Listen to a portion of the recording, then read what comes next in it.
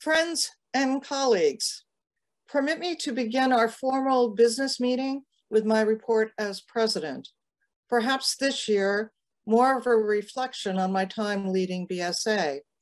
But first, as a reminder, following my remarks, Erin will give hers as executive director, and then Heather Wolf, chair of the nominating committee, will present the slate of nominees for officers and the council class of 2025, and we will hold our election.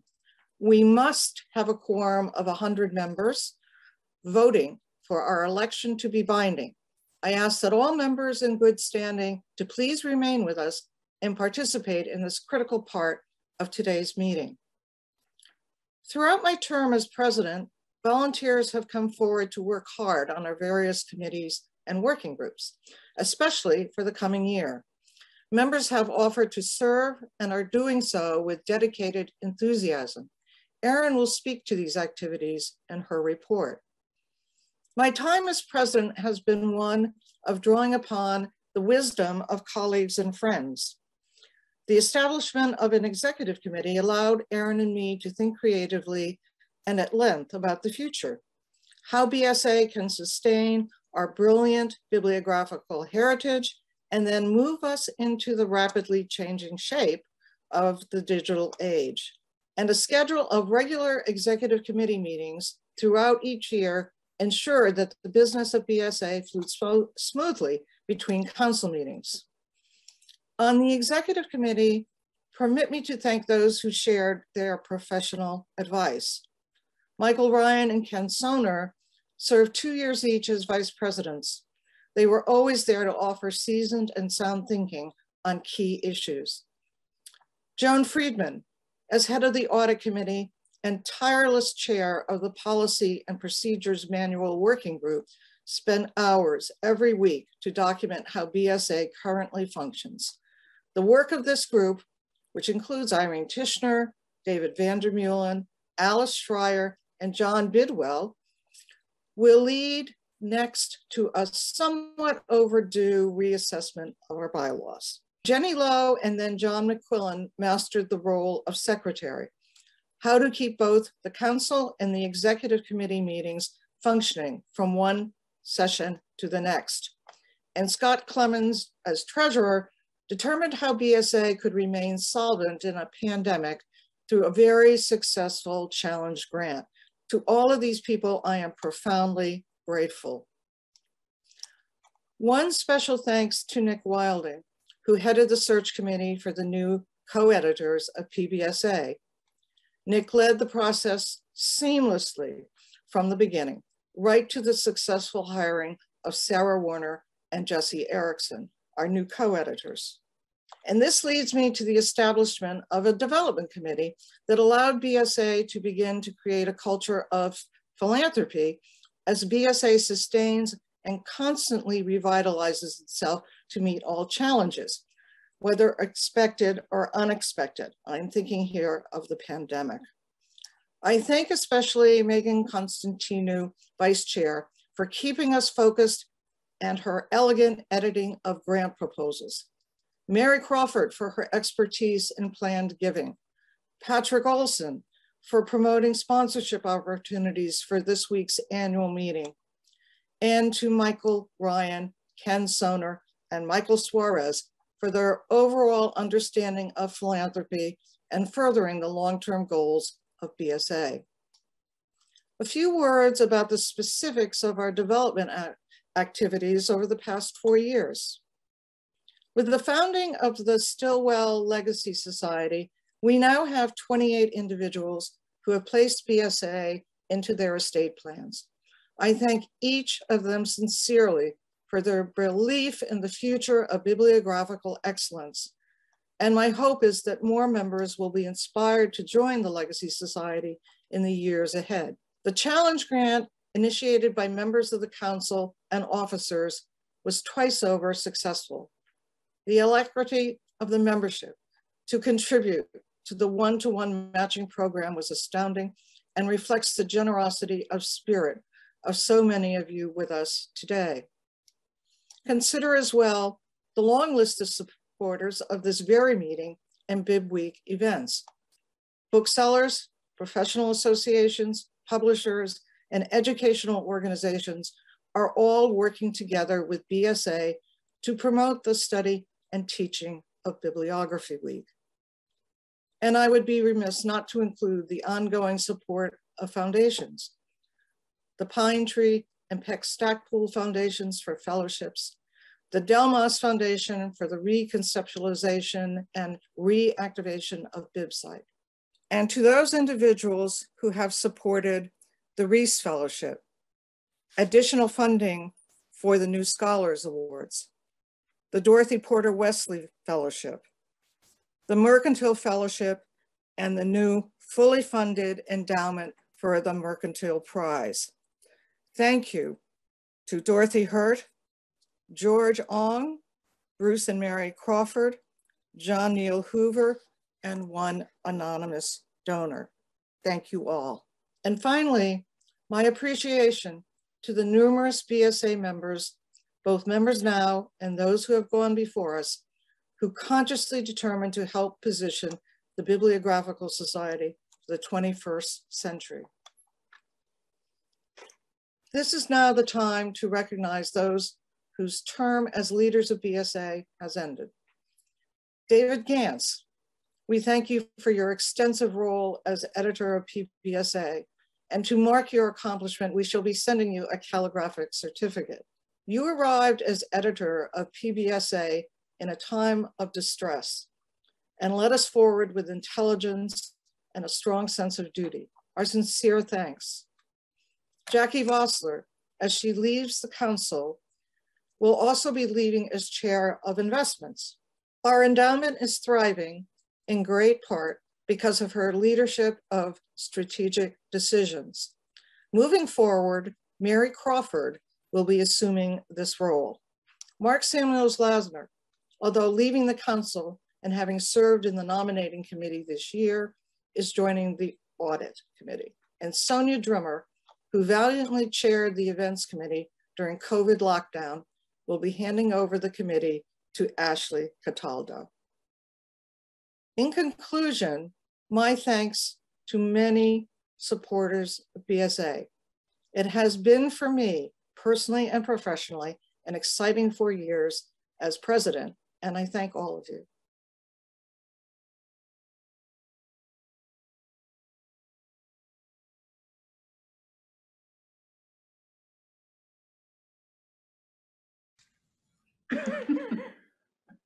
Good afternoon, BSA members and friends.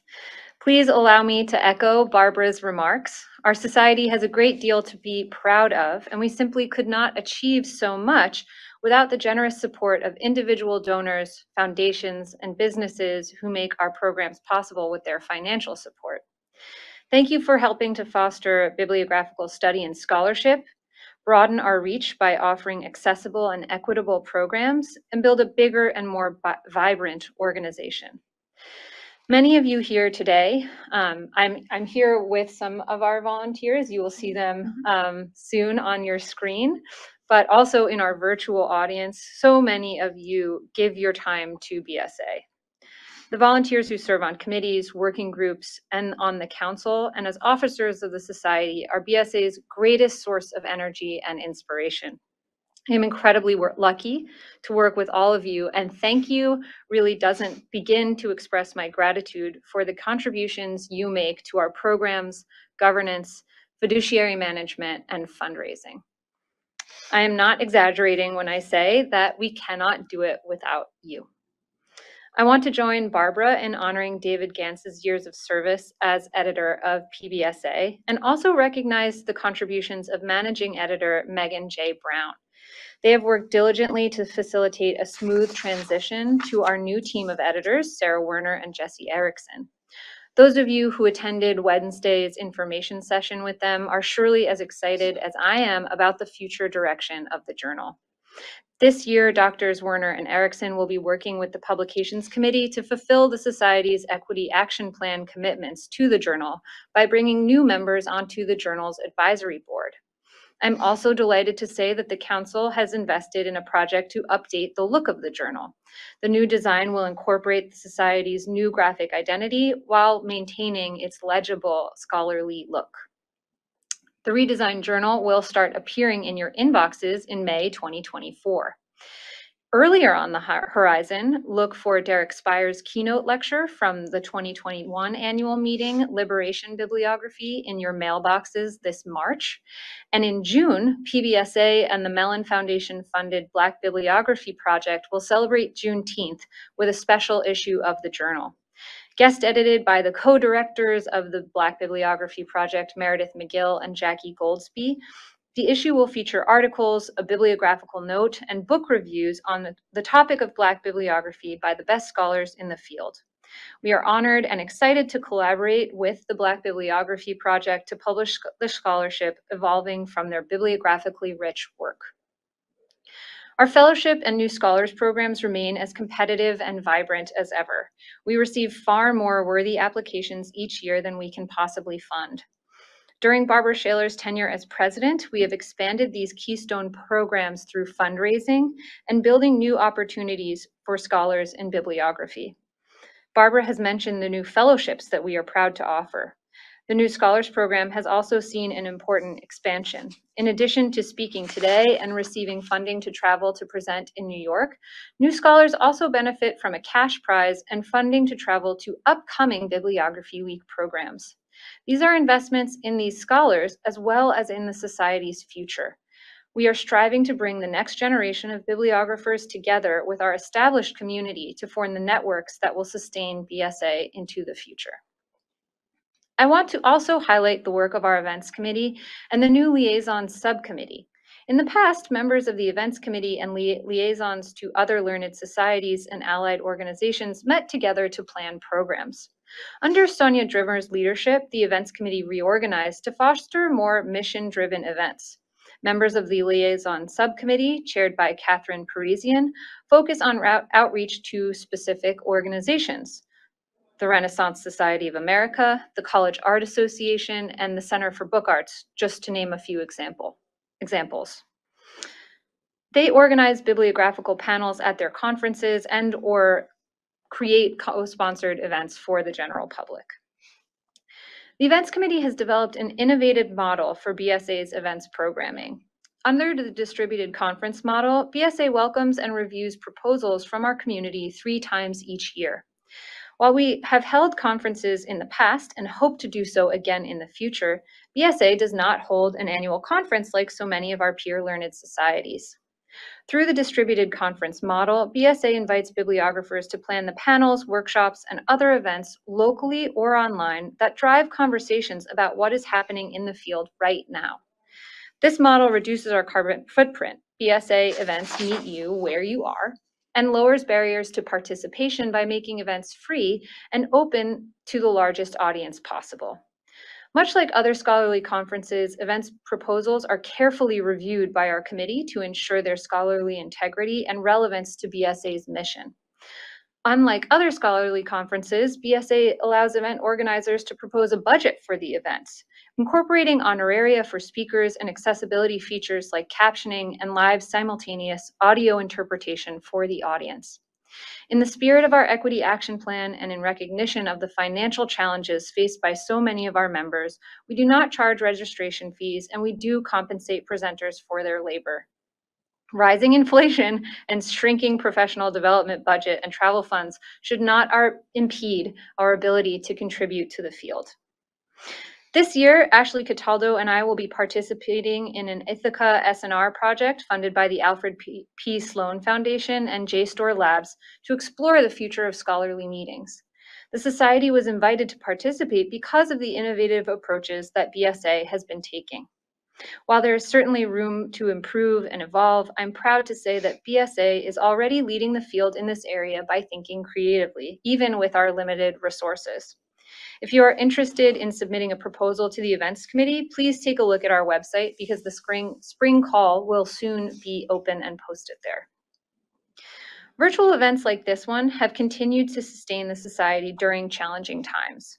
Video recordings on our YouTube channel are bringing bibliography to an audience of over 900 subscribers. I think it's actually closer to a 1,000 today. Faculty are assigning our recorded programs in their syllabi. Every day, around 75 people watch a video on a bibliographical topic on our channel. You're laughing, but it's true. um, and last year, they watched over 3,000 hours of bibliographical conversations thanks to the events that we recorded and posted online. We are expanding our reach by leaps and bounds there. With the help of the Delmas Foundation, we inve have invested in BibSite to continue developing accessible resources for our community of collectors, librarians, conservators, and curators, faculty and students, and independent scholars. Eric Ensley, Emma Sarconi, and Adriana Cesares are working with me to, and will will look forward to a beta launch of the new website in April. The new site will aggregate resources for teaching, learning, and studying bibliography, not just resources that BibSite will host under Creative Commons licenses, such as introductory syllabi developed in a summer program and other materials contributed by our community, also the kinds of resources that are already and have been on BibSite for years now, but also linking out to resources created by individuals and institutions. All of these will have bibliographical relevant descriptive metadata that will make them more discoverable to experts and newcomers to the field alike and help people connect to the intellectual tradition of bibliography through the many resources that are already available online. Please stay tuned for an announcement about the launch this spring and consider, consider contributing material that you might like to see hosted somewhere. There's a great deal more I could say about our programs, but I want to conclude with our, a salute to our outgoing president, Barbara Shailor. We have accomplished all of this and more thanks to her ambitious vision, her commitments to philanthropy and to our mission, and a leadership style that prioritizes consensus building and inclusion. I'm lucky to have started this position the, as the Society's first full-time executive director with Barbara as my closest collaborator and ally. Thank you for being a model leader, a mentor, and for having me as your co-pilot. I am not alone in recognizing Barbara's outstanding service and would also like to thank, take this opportunity to thank the anonymous donor who made a contribution to today's reception. This tribute is, this gift is a tribute to you, Barbara, in appreciation of your outstanding service to BSA as president. Wow. So it is a pleasure to end my remarks on that note today. Please stay with us now for the report of Heather Wolf, Chair of the Nominating Committee, and the election of officer, the officers and the council class of 2025. Thank you very much.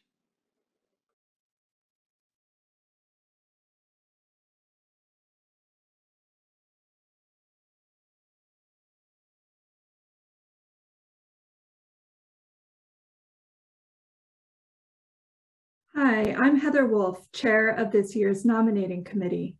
Joining me on the committee this year were Devin Fitzgerald, Mark Samuels Lasner, Naomi Nelson, and Curtis Small, with Erin McGuirl and Barbara Shailor serving in an advisory capacity. This year, Barbara Shailor is stepping down as president after serving two terms, and Mark Samuels Lasner and Jackie Vossler are completing second terms as members of the class of 2022. We circulated a call for nominations for the positions of president and two council members in June 2021 and received a great response. So thank you to each and every one of you who took the time to nominate one of your colleagues. After careful consideration and thoughtful and lively conversation among the committee and with the individual nominees, we are happy to present the slate of officers and council members for the membership to vote on at today's meeting. This slate and the biographies of each candidate were posted to the BSA website on December 14th.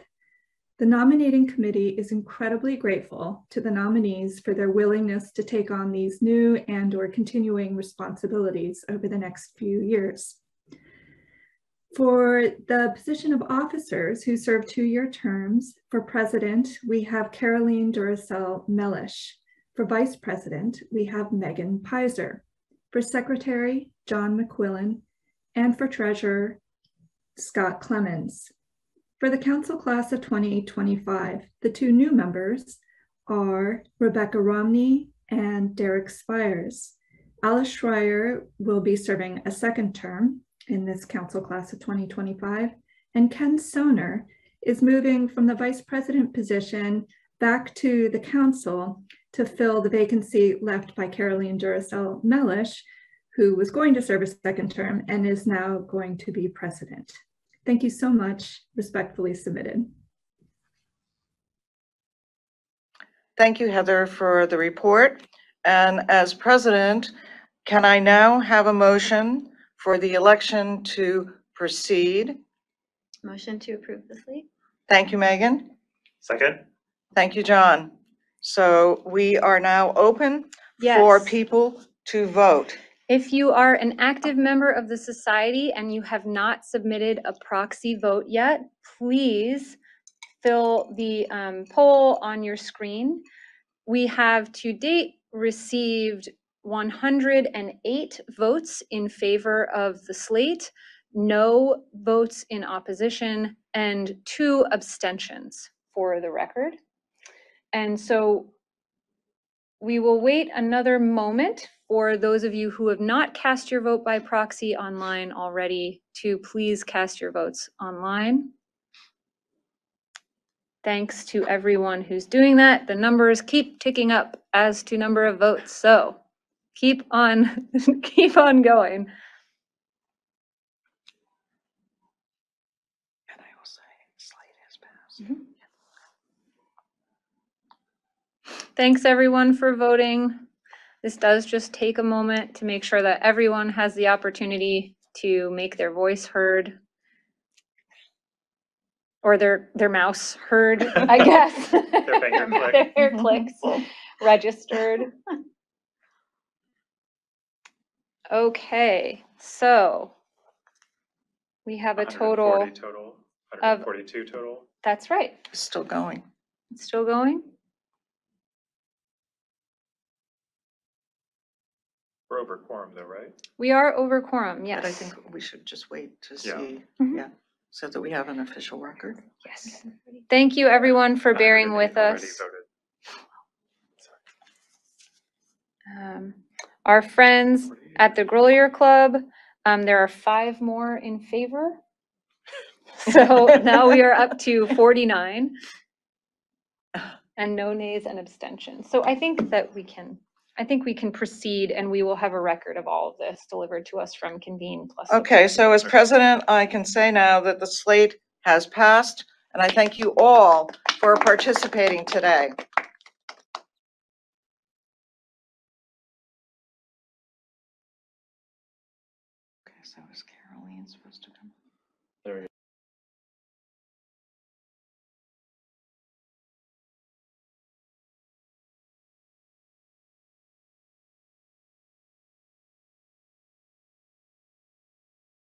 Good afternoon and welcome.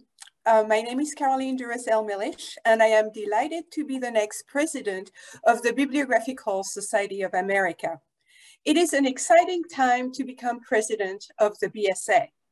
Thanks to the work of current BSA president Barbara Shailor, vice president Kenneth Soehner, executive director Erin McGuirl, council and committee members, the BSA is a healthy and active organization, and it is on the move.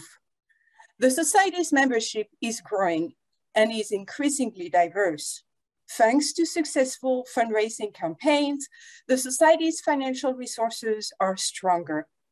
Through its website, virtual events, and social media presence, the Society's online activities are, have increased exponentially and are reaching out to a wider audience.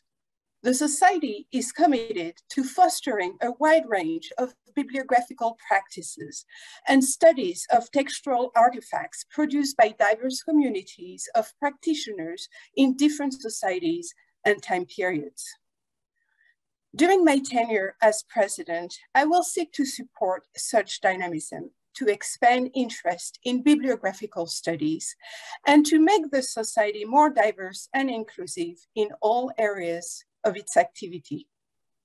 I intend to carry this out by working closely with Vice President Megan Peiser, Executive Director Erin McGuirl, Council and committee members, and with all of you, for it is only thanks to your work and your support that BSA will keep moving forward and remain a flourishing society. I look forward to working with all of you. Thank you. Halito, so chifo yet Megan Peiser a chatasia. Oklahoma amiti chata wawiantnag atali. Hello, my name is Megan Peiser. I am Choctaw, and the Choctaw Removal Land is in Oklahoma, but I come to you today from Wawiantnag, which is Anishinaabe for where the curved shores meet, sometimes called Detroit, Michigan, the homelands of the Anishinaabe people. I am honored to be a guest on their traditional and ancestral lands. I'm excited to be welcomed to serve alongside our new president, Caroline, as your Bibliographical Society of America Vice President for the coming term. As Caroline has so aptly noted, our society is robust and thriving due to the dedicated labors of our past leaders and their willingness to make essential contributions towards change in a time of strife. We are welcoming new members from more broad backgrounds, educations, knowledge systems, fields of work and interests, languages, nationalities, identities, abilities, and gifts than ever before. I look forward to learning about you all and learning how to sustainably nourish our society for what lies ahead. Yakoke, thank you for entrusting me with this work.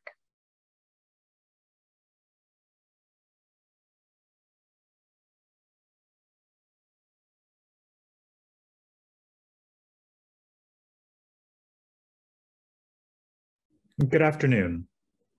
Membership in the Society increased during 2021 to 757 individual members, including 156 emerging, 419 partner, 82 sustaining, 22 leadership, 3 advancing, 67 lifetime or honorary members, and 5 in our new membership category for Latin American residents.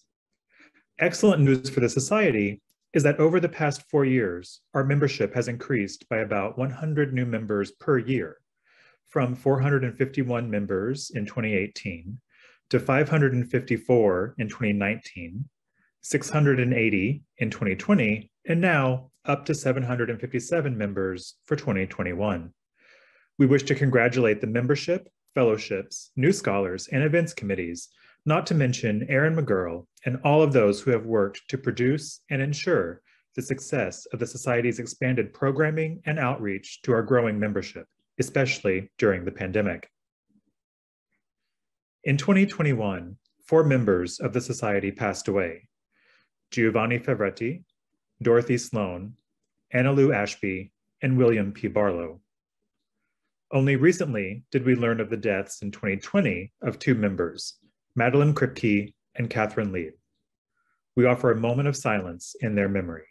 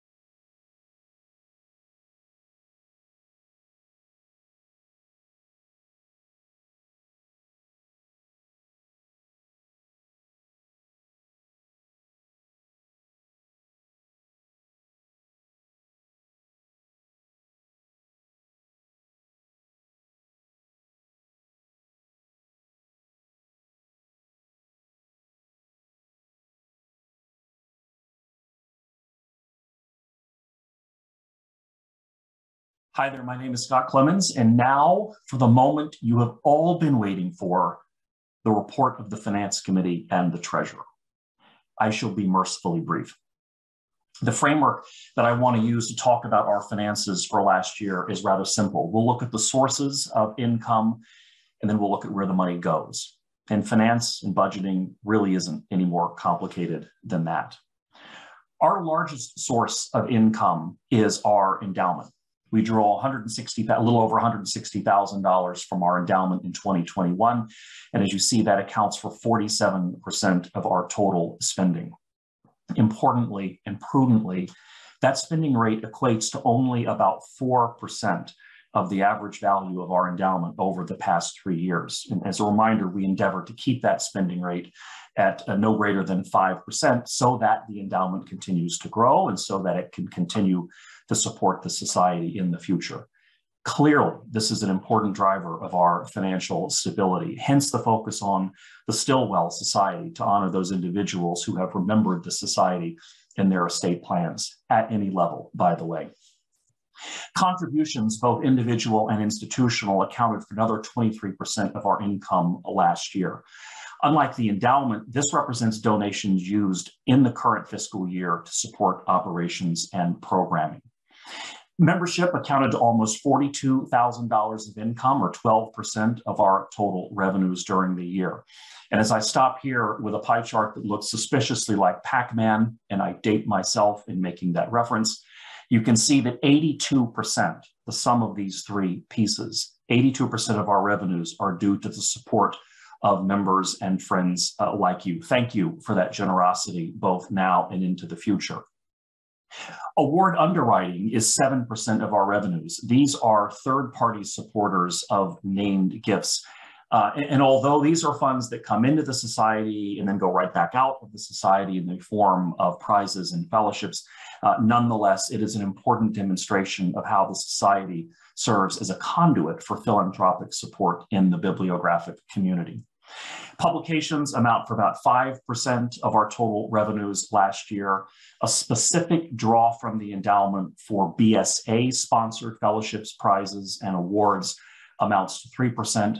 And then finally, rounding out the picture, grants, $9,000 last year, roughly 3% of our total income. So, where does it go?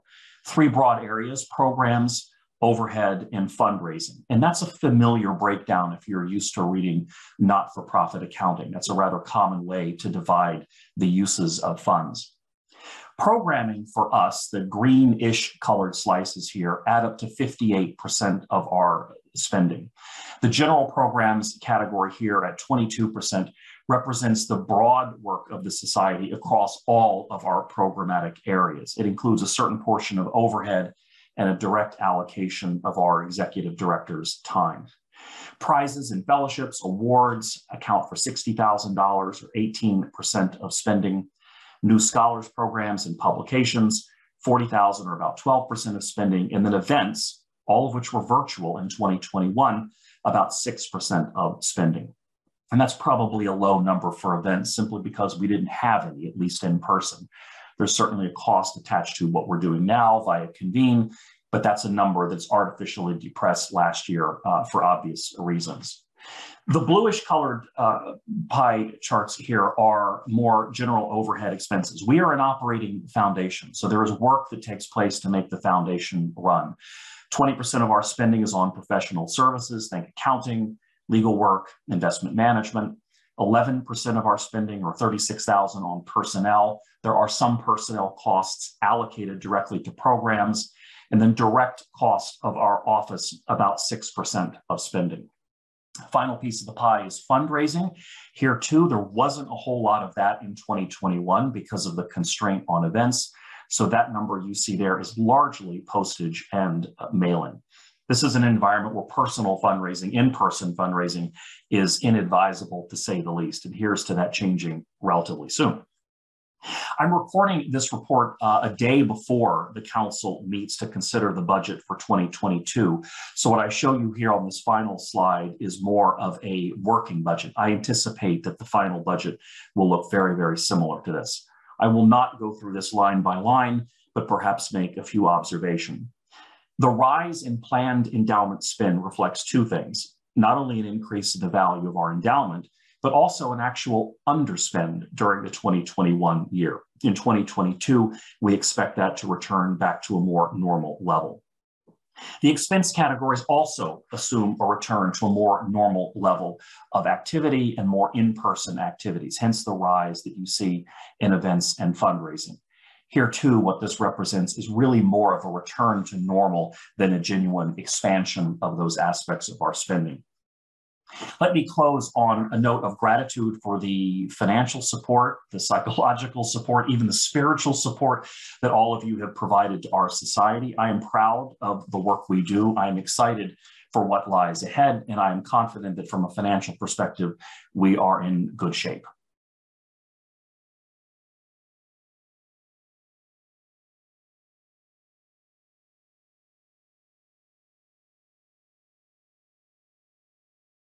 The Audit Committee, for reasons I will explain shortly, has had a busier year than normal, but has nothing unusual or adverse to report. The committee met via Zoom with our then current auditors, Condon O'Meara, on Tuesday, April 6th. At that date, we received the report of their review of the Society's 2020 financial statements. A review involves less investigation than an audit and no assurances are provided. But we were informed that no material misstatements were found and our financials are believed to be in good order. You may recall that some years ago, we opted for a schedule of one audit every three years with reviews done in intervening years as a cost saving option. In separate business, the committee met on several occasions to consider hiring a new auditing firm for upcoming reviews and audits. We have been with Condon O'Meara for well over a decade, and good auditing practice dictates periodic changes in auditing firms in order to keep fresh eyes on our accounting practices. We also believed that it might be possible to save some money on the cost of our annual reviews and audits, and this has proved to be the case. In February, we submitted requests for proposals to six firms recommended to us by other organizations of our type and received lengthy responses from five of those firms. After a consideration of multiple factors, on April 8th, we selected the firm of Huntsman Weibel of Charlottesville, Virginia, to be our new audit firm. Council confirmed this choice on April 24th. We look forward to a good relationship with Huntsman Weibel over at least the next three years. For our 2021 financial statements, we are again due only for a review with our next audit to come after this year's financial results are in. The partner in charge of our account, Ed Schmidt, has already begun working with the Society office and our contracted outside accountants, the firm Danasco, Sena, and Jahelka. We expect their report by the end of March, and I will be reporting to Council in April on the outcome of this year's engagement. I am especially grateful to committee members Tad Bomer, Scott Clemons, Mary Crawford, Tom Goldwasser, and Jackie Vossler for the thoughtful time they devoted to our work this year. We say farewell to Jackie at this time and welcome Mark Samuels Lassner as a new member. Respectfully submitted, Joan Friedman, Chair, Audit Committee.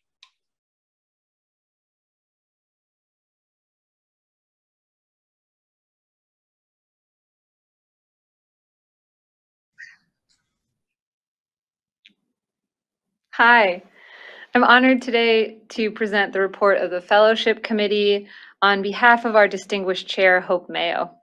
This year, the committee received nearly 40 applications and made 15 awards. Our program always has been and remains competitive, even during the global pandemic when fewer people are able to travel for their research. By comparison, in a non-pandemic year, we receive upwards of 60 applications. Congratulations to all of those whose now names are now appearing on your screen. I will highlight just a few. Sarah Johnson is our second Dorothy Porter Wesley Fellow. Her project, Moreau Sainte de Marie, a slaveholding bibliophile, supports an ongoing book project that combines traditional academic chapters and experimental work that plays with archival fragments and visual culture to tell the stories of free people of color and enslaved women and men who enabled Moreau as a collector. The Porter Fellowship is funded with gifts from Bruce and Mary Crawford and Barbara Shailor through 2023. And we are actively seeking funding to continue the work of Black, Black bibliographers through the Dorothy Porter Wesley Fellowship. Thanks to ASEX, William Reese Company, the St. Louis Mercantile Library, the Peck Stacpoole Foundation, and the Pine Tree Foundation of New York for your ongoing support of our fellowship program. Your commitments foster bibliographical research that enriches our broad the, our broad community with projects ranging from Lindsay Eckert's work on the history of bookbinding to Matilda Malaspina's studies of Hernando Colon's Libro, Libro de los Epitomes to Sarah Haining's work on the description of LGBTQ plus archival materials. Year after year, we see a return on that investment. At yesterday's Both and Bibliography panel on maps in books, the panelists Jordana Dym and Carla Lois are the 2020 recipients of the Tannenbaum Fellowship in Cartographical Bibliography. You can find their research um, publication on maps in books online now through Taylor and Francis. So thank you once again to those individuals, groups, organizations, and foundations whose generosity enables the Society's fellowship program. Also, congratulations once again to our 2022 fellows. I'm so excited to see the work that you continue to produce and share with our community um, come to free, fruition through your research fellowships.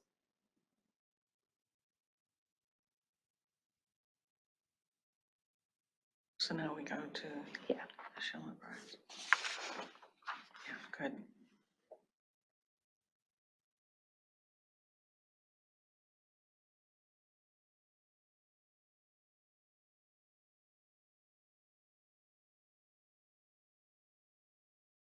Hello, I'm Laura Wasowicz, Curator of Children's Literature at the American Antiquarian Society and Chair of the Justin G. Schiller Prize Committee.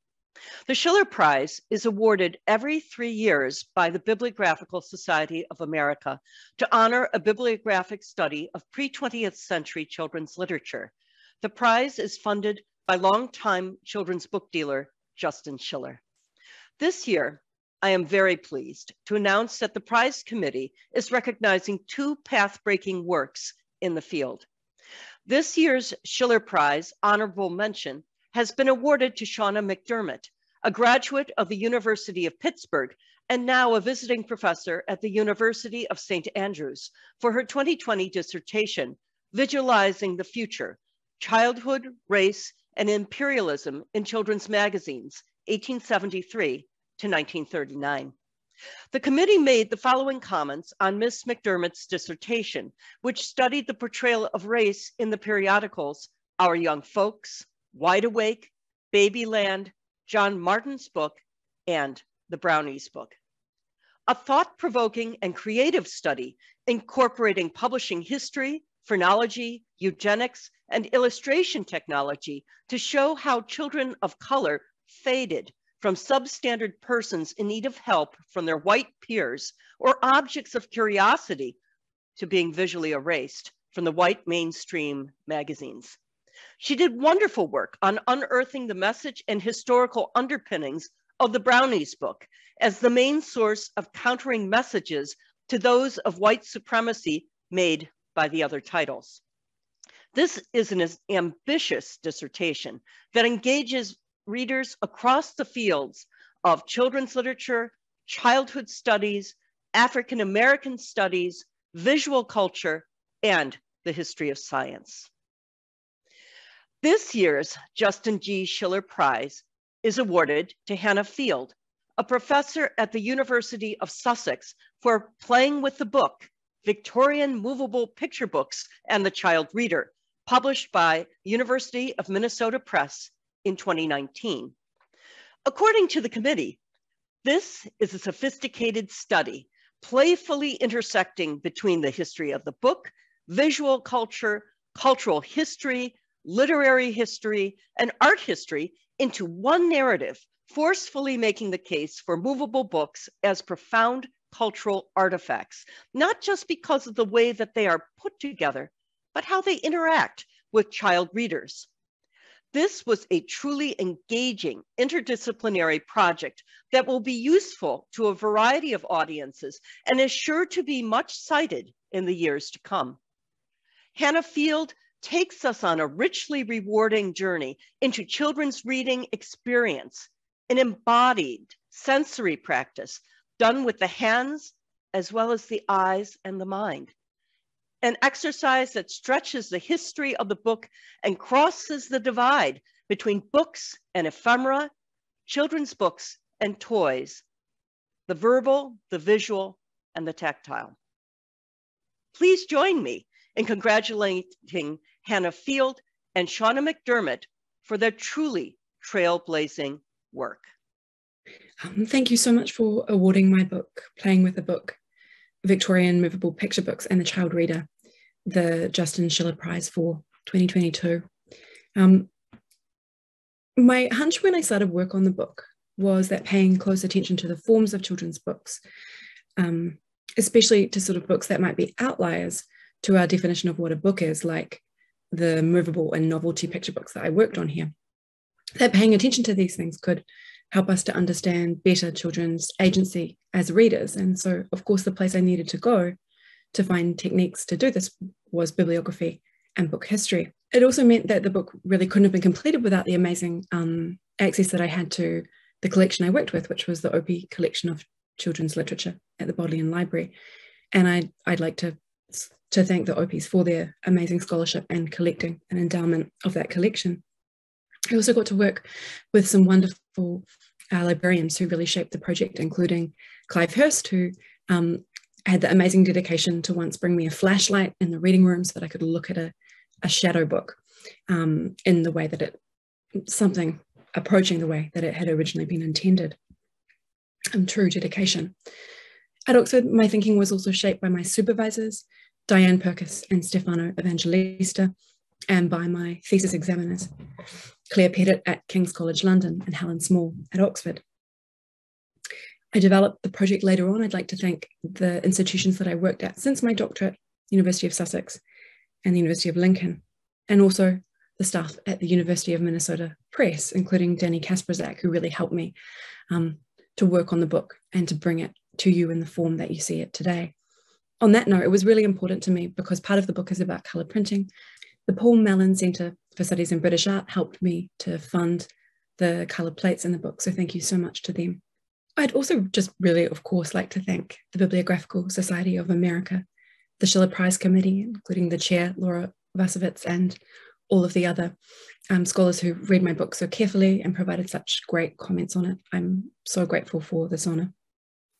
And I'm also really grateful, of course, to Justin Schiller for endowing the prize and for all of the work that he has done to bring the scholarship of pre 20th century children's literature um, to the place that it is today, which is just amazing. So thank you so much for this honor.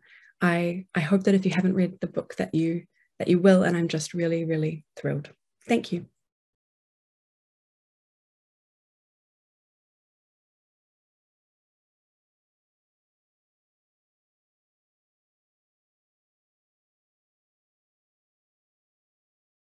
It gives me great pleasure and pride and joy to inform you all of a very special action that the Council of the Bibliographical Society of America took at its meeting uh, last Saturday.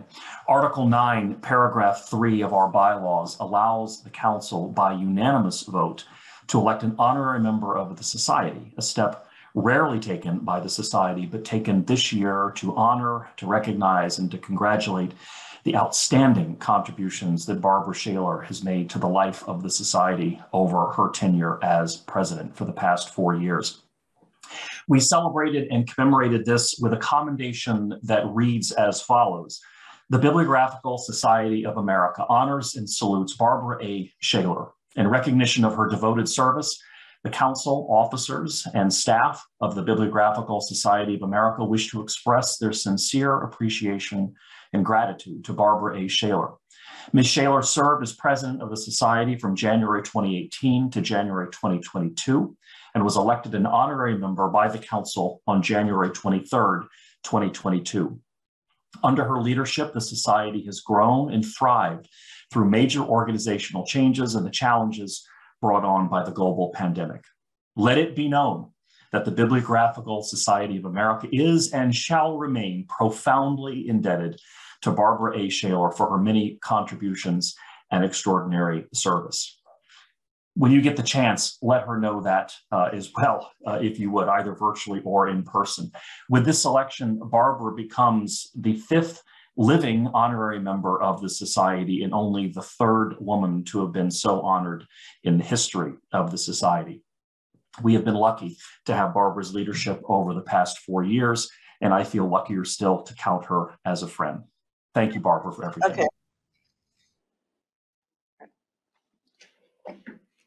Motion to adjourn. I second. Oh, wait, no, Barbara has to. Oh. Yeah, I'm, hi, Hi, everyone. hi, I'm asking for a motion to adjourn. Thank you, please. Motion to adjourn. And second. Okay, The meeting is over. Thank you all for joining us. And as you can see, we have a small group here and we are so pleased. Barbara, thank you. Here's to you. cheers. Cheers. And to the Bibliographical Society of America going forward. Mhm.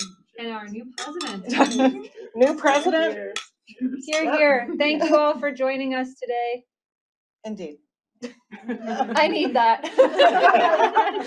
and we look forward to seeing you, those of you, those of you who will be joining us at five, um, right here at Convene, 530 Fifth Avenue, between 44th and 45th Streets, uh, for some bibliographical camaraderie to close out this really lovely day.